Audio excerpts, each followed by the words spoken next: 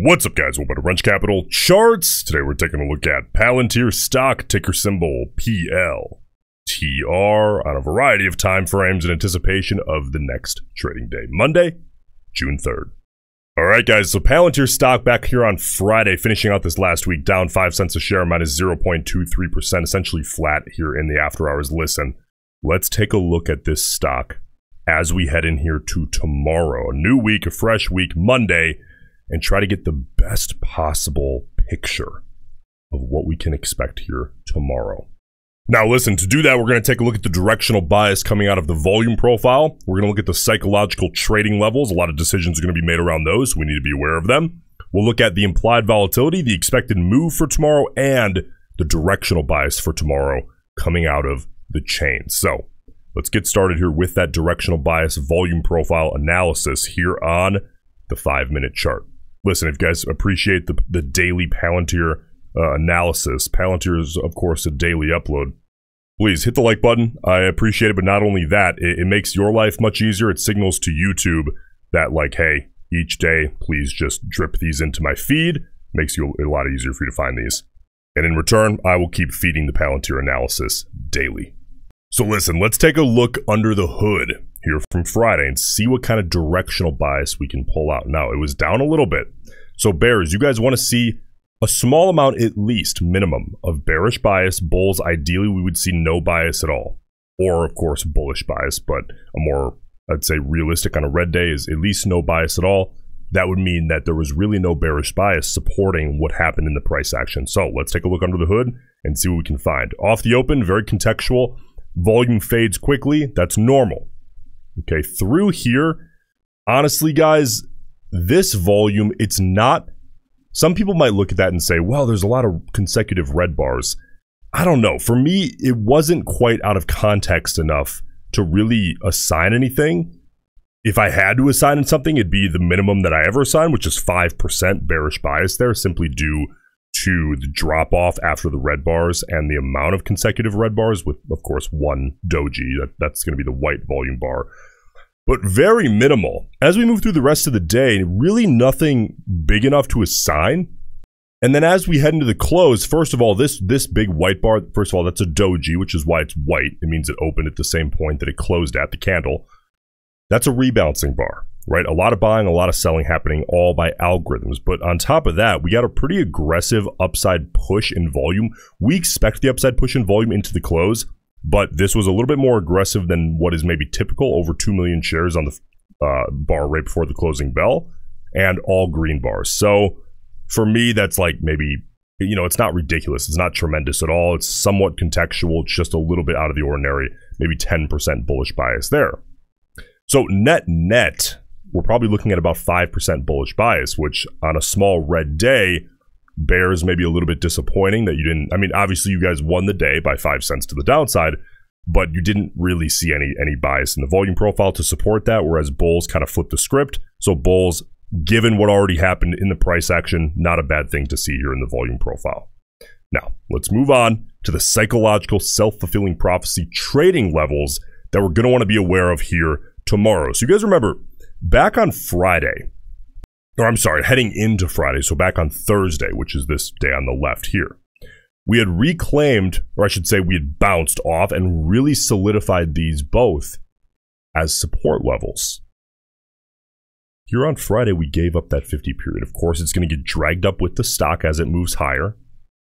And we gave that up. So, Bears, we had talked about this back on Thursday that was at least you know half of what you guys wanted to see because ideally you'd want to break downside through both of these. But bulls we tried to make a run at it into the close and kind of got hung up. So here's the story tomorrow because nobody owns this right now the 50 period on the 30 minute chart. Bears you want to reject off the 50 as hard as you can start heading down toward a test of the 200 period. Ideally if you can break the 200 period of the downside also that's a huge win for you bears on the 30 minute. Bulls priority number one get back up above the 50, test it, and bounce away. Ideally, each bounce off the 50 on as much volume as possible, whether there's one or 10. Okay. You want the retests to be on low volume and the bounces to be on high volume to show that like kind of offset in bets being placed on each event. And that would support your bias, of course. Okay? Now, the four hour chart.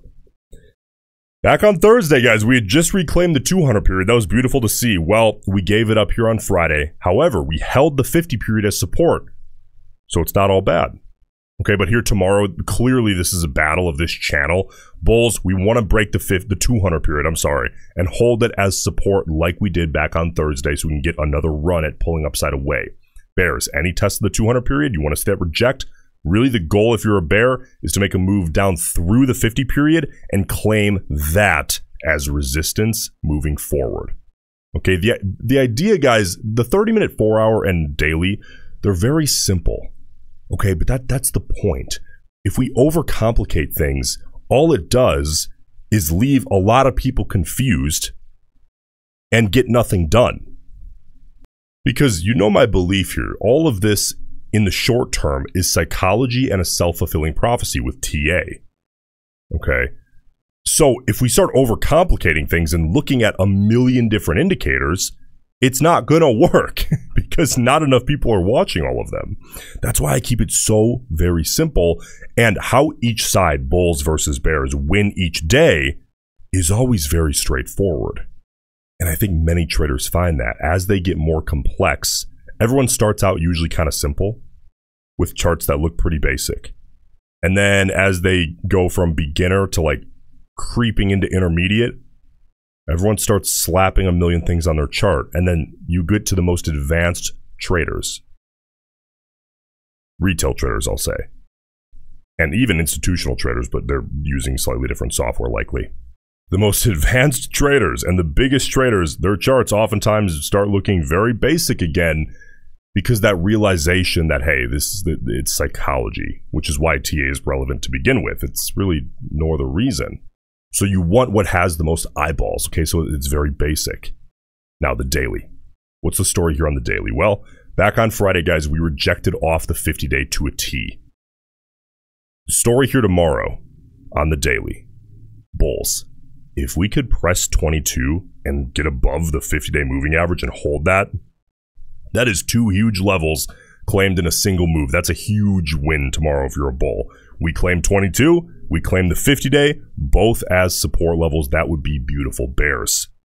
If you could reject off the 50 day, if not before that at 22 upon any test, and start heading back downside, really bears the goal is to head downside toward 21. If not, crack 21 to the downside, though that might require a slightly larger move.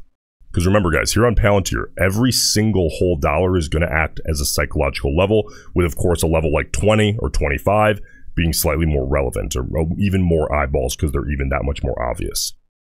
Implied volatility here, basically flat back on Friday. So, in comparison to the last week, I would say we are slightly high, uh, but a lot of days were basically leaving us in the mid range here, but just that one last day. Um, the 24th, you know, in comparison to the last week based on Friday's IV. Leaves us in the kind of mid to high range. In comparison to the last month, we are, I would say, low. Okay, slightly lower in the slightly lower range, with a lot of the, the days in the last month being kind of in the same range. Okay, this is all about context. And in the last three months, IV is clearly low. This whole thing is three months, of course. Understand where that stands in relation to your intended trade time frame. Very important if you're trading options. Now, the expected move here for tomorrow out of the stock. We have weekly expirations. So the next expiration we have is Friday's close, June 7th. The expected move by that close compared to this last Friday's close is plus or minus 1.03 per share. Here's what we do. Divide that by five trading days, but that assumes all green days or all red days. So we add back 50%. That's what I'm adding back right now. That gives us a plus or minus expected move of 31 cents per share by tomorrow's close, Monday. That's with a little bit of educated guesswork. That's the market's expectation, the one standard deviation expected move. By no means is that meant to be exact. It's the market's opinion. If basically what it is, guys, is it's pulling all the data from the options um, just the implied volatility of all the different contracts at that expiration. But what it really boils down to is that's like the market's pinpointed expected volatility when you take all the the big sample size of opinions and kind of put the data together. That's what it is. It's not meant to be perfect. It's meant to be a baseline expectation based on all the data. So if you disagree with that, along again coupled with a strong directional bias, that could be a position for you. You you want to disagree with the market, okay? Because that if you don't, you have no opportunity to take a position because you just agree with how everything's priced all the time. But you might be thinking, what about directional bias? Let's take a look. 328,000 total contracts traded here back on Friday. Just under a quarter million calls. That's 249 million calls. And just about 80,000 puts. Okay, so call side bias on the overall call put ratio. And if we break that down by time frame, the short term speculators, the 0 to 20 delta range, we have 66,000 calls, 26,000 puts. Call side bias out of the short term speculators as well. Listen, guys, if you want to get my personal daily scalp setup alerts, my in play stock alerts, my human verified by me unusual options activity, that's how I'm tracking what the whales are doing. I human verify every single alert that goes through to members to ensure that it's actually unusual. Um, a lot of times, if with UOA especially, if the alerts are bot driven, meaning pulled from from a, a data set just using a bot, what you'll find is that you know, something like 25 to 50% of the time, they're easily explainable. Since I'm human verifying all of them, it takes those out. That's all going out in our private community. Uh, take a look at that link in the pinned comment. That'll let you get grandfathered in at the current rate so you're immune to price raises that are happening here in the very near future. I appreciate it, and I'll see you in the next one.